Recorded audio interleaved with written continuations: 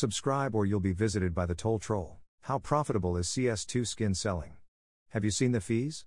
Different fees for different methods.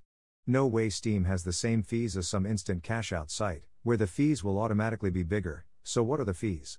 I haven't looked into it yet, no. Steam takes 13% when you sell, and you also can't sell items over 2k. 2.5% at Ching Chong Bing Bong Biff Boff Buff. I make 3k a month just by flipping skins from different sites already managed a 70k inventory and I cash out every month but holy heck it's exhausting checking prices everywhere and every single site is like trading but you actually make money. You're like 8 years too late. A lot of people got rich in like 2015. CSGO has fallen off nowadays and Valve cracked down on it. Based as heck, I'd love to do that but you need a good capital like yourself. That's true and less selection so trades were easier. I made hundreds off flipping Huntsman's fades that's idiots sold on the market. Usually could find 95% fades no problem and flip them. Yeah, shame. I guess the only way to make money like that now is from the right sticker capsules slash cases and holding them forever.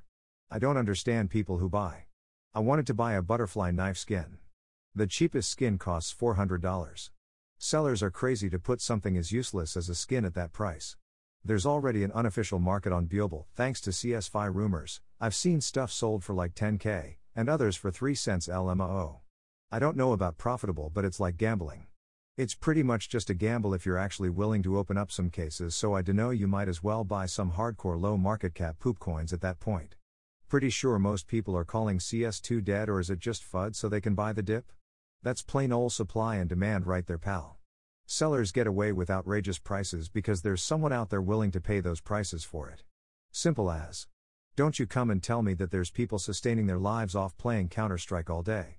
That sounds like a really miserable job unless you're an e celeb with a ton of followers. Sorry, Chud, but you missed out on the CS2 bull run.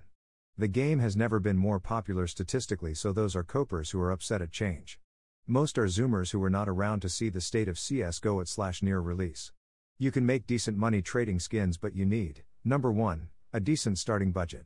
Number 2, good payment gateways, use proper sites, etc. It's easier if you're in Europe as SEPA is supported and works better than anything else. Number 3, know the ins and outs of skins and don't just take regarded guesses. Number 4, can build an online following as most of the successful skin traders have a decent following on Twitter slash YouTube as you need public rep to be a trusted dealer. Also, don't open cases, you'll burn $2,000 to get a $500 knife if you're lucky.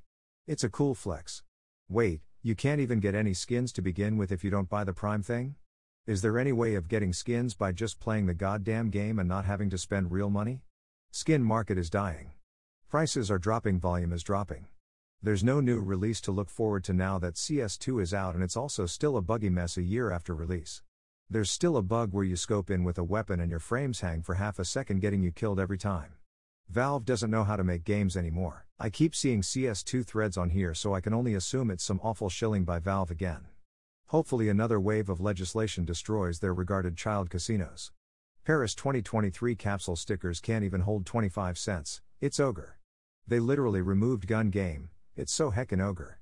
In 2019, I sold all my CSGO skins for Ethereum using Skin Cashier. I got 28 ETH for the skins I'd collected since launch. I had over 6,000 hours in that game, but I stopped playing when they started adding character skins and Fortnite dances. Who said video games don't pay? I sold all 28 ETH between 3k and 4.5k last cycle.